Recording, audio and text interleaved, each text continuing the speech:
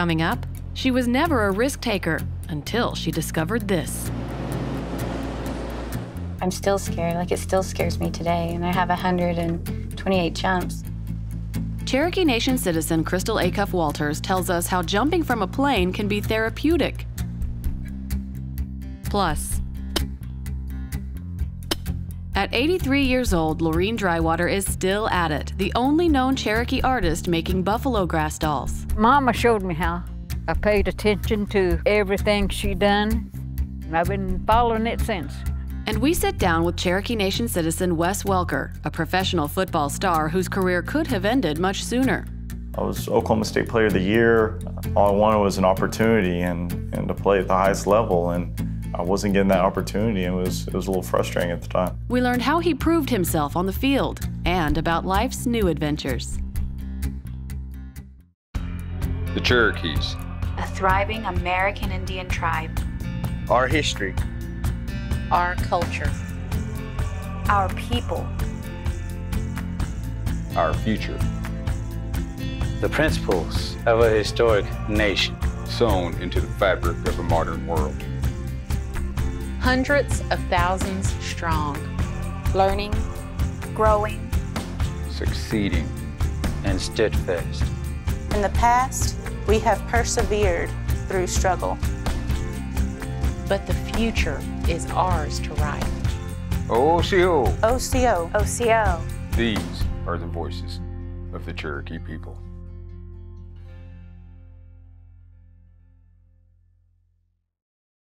Osiyo, I'm Principal Chief Bill John Baker. Welcome to the Cherokee Nation and Osiyo TV. This is how we share our culture, our heritage, our history, and our language with you. Wado. Osiyo, it's how we say hello in Cherokee. In this episode, we catch up with three Cherokee Nation citizens taking full advantage of the summer season. Lorene Drywater teaches us how to make priceless dolls out of summer grasses that grow here in northeastern Oklahoma. And we catch up with professional football player Wes Welker and learn about his new foray into horse racing. But first, Crystal Acuff Walters. She's a mother, an artist, and now an unlikely adrenaline junkie. We tag along with Crystal as she shows us her new sport, which gives her a sense of adventure and confidence.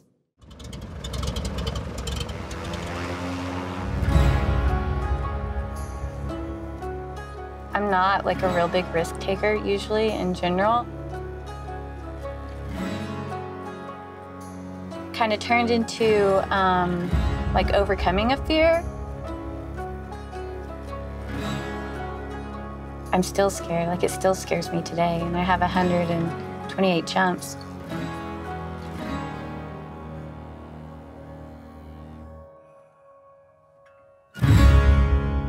We'll come in. We'll land on that. I'm Crystal Walters, and I'm a skydiver, a mother, a graphic designer, and a fine art photographer from Pryor, Oklahoma. Pryor's really small. I think uh, population's around 10,000. Everybody kind of knows everybody. I have three kids. Um, I have two girls and a boy. Once all the kids were old enough to be in preschool, I decided I was going to go back to school. I was going to pursue a nursing degree. I entered an art show um, at RSU. They have an annual art show, and it's open to anyone. You didn't have to be an art student. So I entered a photograph, and I got um, second place, I think. And then I decided that I was going to pursue uh, fine art instead. I really like to use my photography and my graphic design skills, like combined, to um, to make screen prints. At RSU, we had to do a capstone project, and I did a series on people that I went to school with and like their alter egos. So I did the photography on the wet plate, scanned in the wet plates, um, turned them into screen prints, and then um, screen printed on layers of mylar that would hang like so many inches apart. So then it kind of looked like the Photoshop layers, like you would lay out in a graphic design program. It showed um, them like slowly changing into like another outfit into like another person, which would be like their alter ego. Um? Yeah, that needs to go down. So what I do is um, I go to a glass shop and I get this black glass and I cut it down to the four by five inch size, coat it with the collodion that pretty much turns the black glass into a sheet of film.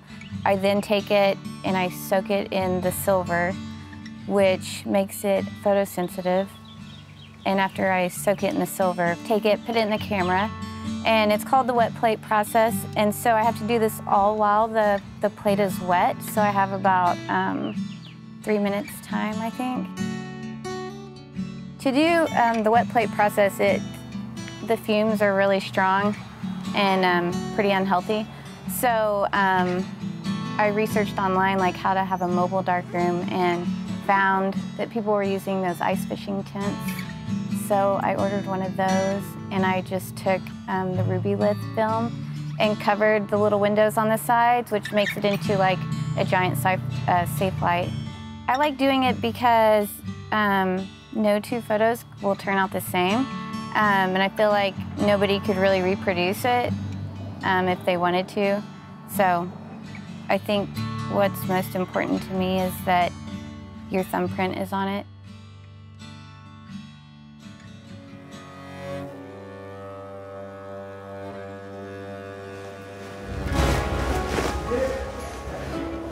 So the first uh, tandem skydive I did um, was last October. I had just recently got divorced and I had reconnected with a friend that I went to high school with and he skydives and um, he was like, you know, you should just come out and just watch or, you know, check it out, see if you might want to do a tandem. Eventually I went out there and I did one tandem on a Saturday. I went back and did a second one on the Sunday. And then um, that next weekend, I signed up for the class. And then it kind of turned into um, like overcoming a fear to kind of get away to make me feel really self sufficient, like I could take care of myself, I guess maybe like post divorce. When the plane gets to about 9,000 feet, you start getting ready, everyone kind of rotates around in the plane, and you start getting prepared to do the climb out. I wouldn't say that there's ever been a time where I thought I wasn't going to get out. Um, it's uh, definitely getting out of the plane isn't anything that I'm scared of. Um, I think it's just the landing. I think that um, the landing is the scariest part. I'm not, I'm not real great at it. It's a running joke around here if I land in the mowed grass and if I land on my feet. So we all get out and we all look at each other, make sure everyone is ready to go, and then someone will give the count, um, and then we jump.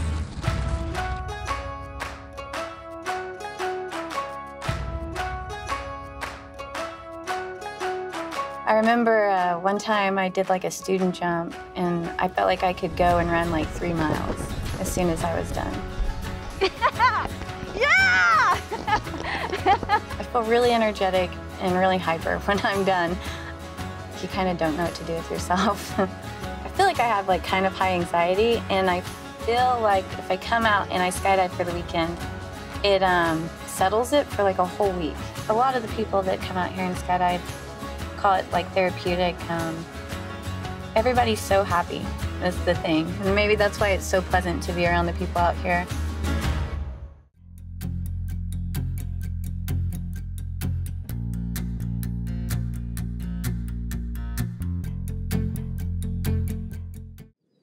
Cherokee Nation citizen Wes Welker has spent the last 10 years in the National Football League, collecting big wins and accolades along the way. We caught up with Wes at his childhood home in Oklahoma City, where he tells us life is not just about football anymore.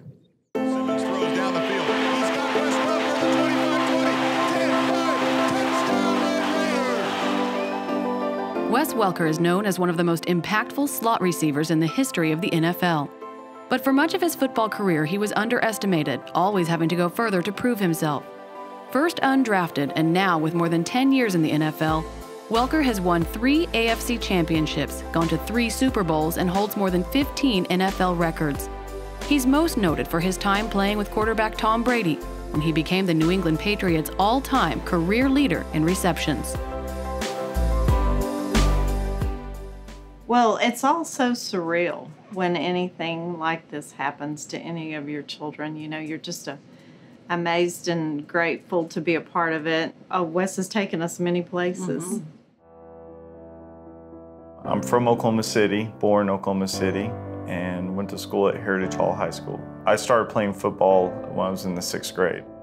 Did people say at that point that you were small? Yeah. I mean, just because you're big doesn't necessarily mean you're going to be a great football player. You don't have to be the biggest guy. In my junior year, we went undefeated and ended up winning the state championship that year. I was Oklahoma State Player of the Year. All I wanted was an opportunity and, and to play at the highest level. And I wasn't getting that opportunity. It was, it was a little frustrating at the time. What were their reasons? What would they say? You know, not big enough, not fast enough. Right before signing day, Texas Tech had a fall through in a recruit. They had me in for a visit a few days later and signed as soon as I could. You know, basically, I, I started returning punts early on in my career. As a football fan, that's one of the most exciting things to watch. So, what's that like whenever you were doing that in college? As I had more success, the crowd would start chanting my name and different things like that, and it was it was a pretty exhilarating feeling. And every time I was back there, was, my mind was set on scoring a touchdown. I didn't worry about anything else. And I set the record for uh, most punt return touchdowns in college football. After college, you didn't get drafted, right? Right. The draft is over, and I'm kind of looking around trying to find where to go. And San Diego was the most interested in wanting a uh, punt returner, and um, I took the opportunity. And what is the work ethic like? What are your days like when you become an NFL player? Really, your first few years in the league have to be all football, all the time. That's should, all you should be thinking about, all you should be doing, and really just studying and learning the game and learning your craft. Wes started out with the Chargers, but then he went and played with the Dolphins for three years. And then he went to New England, and New England really liked him. Getting the opportunity in New England, and obviously being with Tom Brady and that offense and everything just kind of coming together as far as his style and then my style all just meshing together. It was just kind of the, the perfect chemistry. Going to the playoffs pretty much every year, I think, but one. Going to two Super Bowls, just even the relationships and the people and the guys that uh, I met there in the group that we had, especially the 2017 was was a pretty special deal. And Tom and I, we text and talk uh, quite often, and um, just about life, how the kids are. It's been a new relationship. Obviously, after six years in New England, I became a free agent. Um, ended up going to uh, Denver. Went to another Super Bowl while I was there, and uh, after my two years in Denver, I was a free agent, continuing to play. Um, so tell me about undrafted. And they're off in the Shaker Town. Undrafted is uh, the horse that I've owned for the past five years now. For some reason, it's just like beginner's luck or something like that, but he's been an exceptional horse. And um, we just actually flew into Oklahoma City from uh, Lexington uh, in a race that he just won. Undrafted coming late, summation time commute, undrafted commute, something extra, undrafted rallies from deep in the. I saw a quote from somebody that said, undrafted is a lot like his owner, a little guy, but real tough.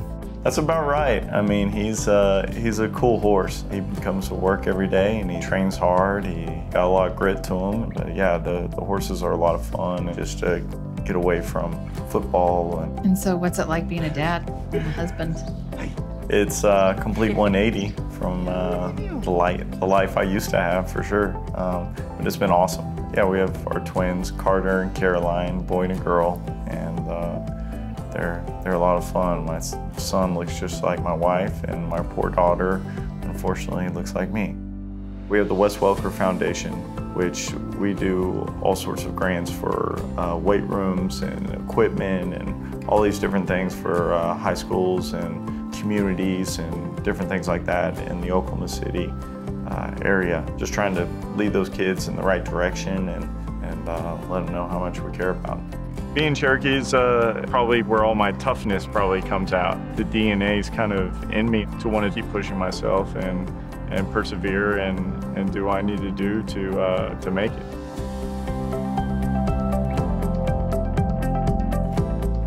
What do you see for yourself in the future? I don't know. You know, that's that's a thing that I'm, I'm still trying to figure out. It's not like a lot of people are knocking down your door to do anything else. This is the best opportunity I have to provide for my family and also do something that I love that I know I'm good at. Um, I can't just sit on the couch and be retired. Like I have to do something. I think going back from where I started, whenever the coach sat there and did the depth chart and I was last, um, and then going on and looking at playing my 13th year in the, the NFL, you know, you look from that perspective, um, it's been pretty successful. You know, getting married and having kids and, you know, seeing yourself within those kids has been uh, the biggest blessing uh, out there. Right now, I'm just really enjoying the kids and being around and slowly trying to figure out what my next steps will be.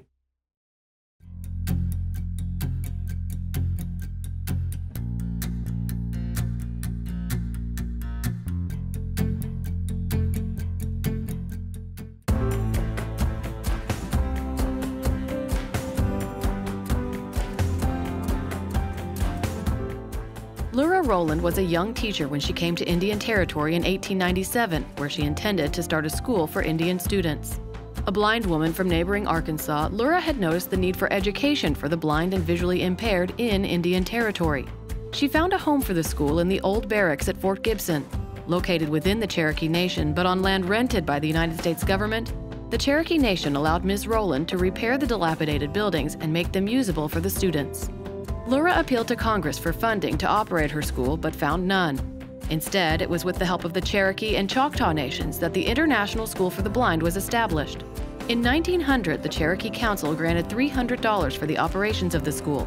At the time, half of the six enrolled students were Cherokee. The nation would continue funding the school until statehood in 1907. In 1913, the school, renamed the Oklahoma School for the Blind, moved to its current site in Muskogee, Oklahoma. Two years later, Helen Keller visited the school. The Oklahoma School for the Blind is the only such institution in the state and retains a high population of Native students, many of whom are Cherokee Nation citizens.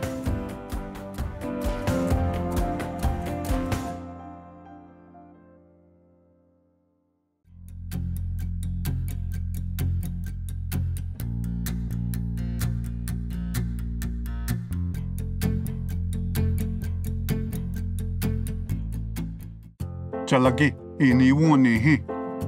Let's talk Cherokee. July. Kayegwani. Kuyegwani. Fourth of July. Kayegwani. Nakine iga. Kuyegwani nakine iga. Rabbit. Jistu. Jistu. Rabbit is mischievous. Jistu unegu chita. Jistu unegu jikda.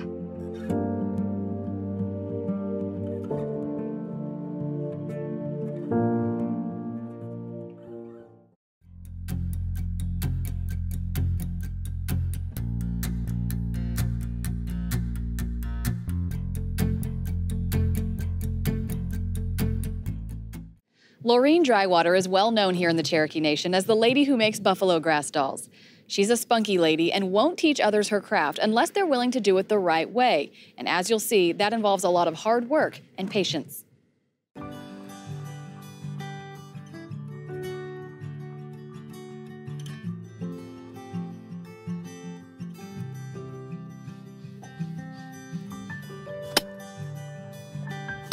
Uh-oh. Did you break your pick? No.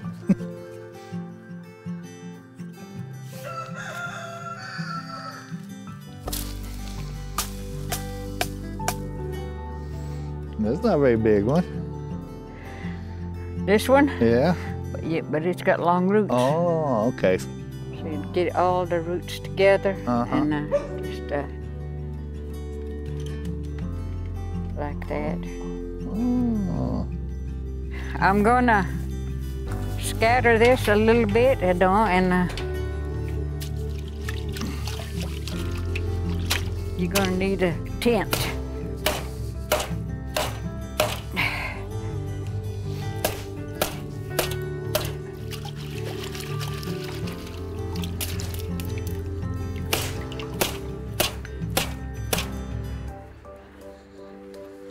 It's a work. It is a hard work. Uh, they wanted me to teach somebody to do this. And I thought, now, eh, that sounds easy enough, but if they want to learn how to make uh, those buffalo grass dolls, they're going to have to dig themselves and uh, learn how to clean it. Because that's the only way you're going to do it. Who wants to get out there and play with the grass? I'm the crazy one. I'm Lorene Drywater. I'm the one that makes uh, buffalo grass dolls. Buffalo grass dolls are a unique invention by Lorene Drywater. Lorene fine-tuned the whole doll thing to putting traditional Cherokee dresses on them with the bottom parts and everything and weaving up the roots into the hair. She's the only known grass doll maker in North America. Mama showed me how. I was about five. Uh, I asked her, why don't they ever buy us dolls? And she said, well, because we don't have no money. So when she first taught me how to make a doll, she said, all right, come over here and I'll show you how to make you a doll. You can make it yourself. Just follow my instruction. She told me what all to get together. I watched her. I paid attention to everything she done. And I've been following it since. When I want to make a doll, I'm going to go pull the grass out of the ground and wash the dirt off of it. I clean it I wash it in a big tub of water, getting some uh, uh, roots ready, and so I can tie some strings on it. Hang on.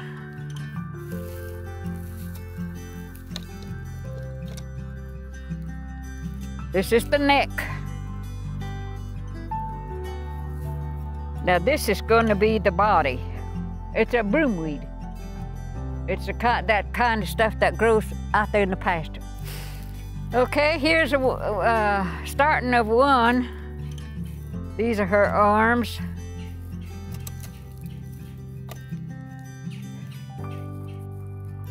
The, the, the face is supposed to be right there, and the arms and the body. How does this look as a blouse? I try not to dress them all the same. And this is how it would look.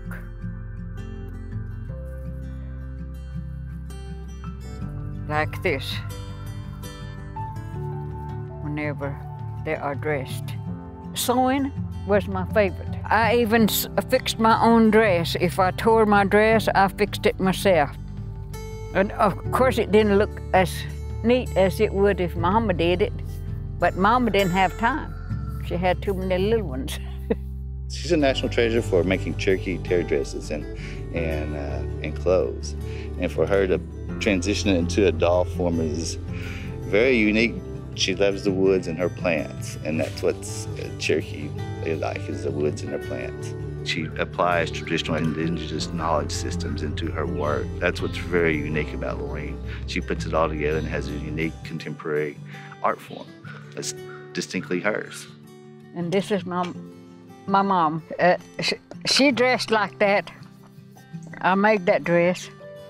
Everything I had, I made myself or, or somebody made it. And here's my, my grass dolls. I was working on them. I'm just so used to doing things on my own. That's okay. they know what I do. They know what uh, I made, and they know where to find them. So that's it.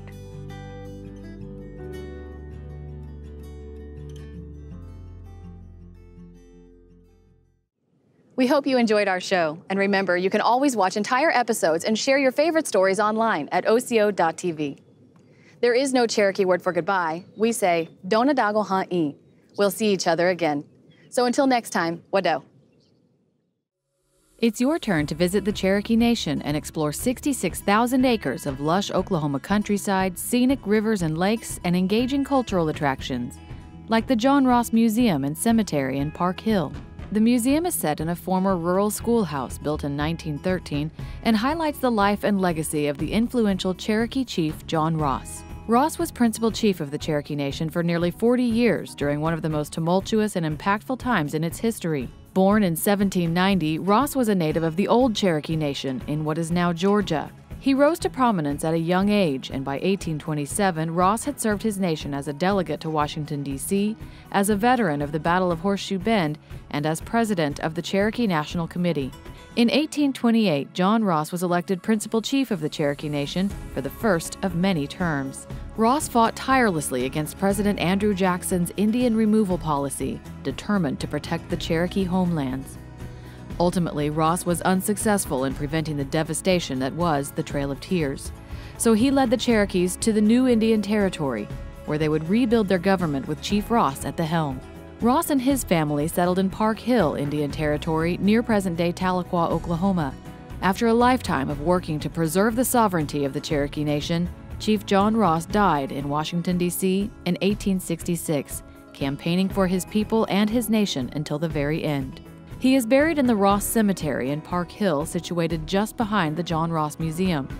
The cemetery is on the National Register of Historic Places and is the burial grounds for many in the Ross family, important Cherokee delegates, and survivors of the Trail of Tears.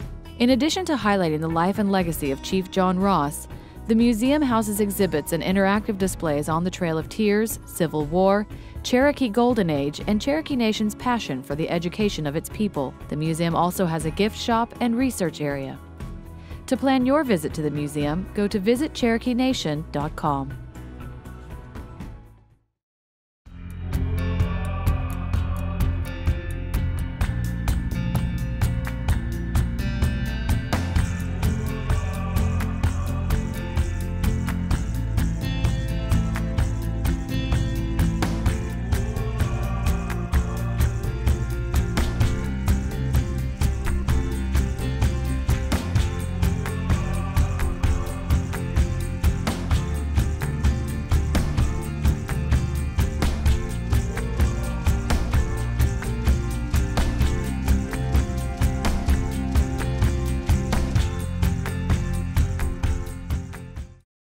In the Cherokee Nation, news happens every day. Cherokee Nation's economic impact on the state of Oklahoma now exceeds $2 billion. The dollars that are generated here are creating jobs. It benefits everyone. Creating headlines. The new 469,000 square foot health facility is the result of the largest joint venture agreement ever. For the people of the Cherokee Nation, and will impact them for generations to come. Creating opportunities.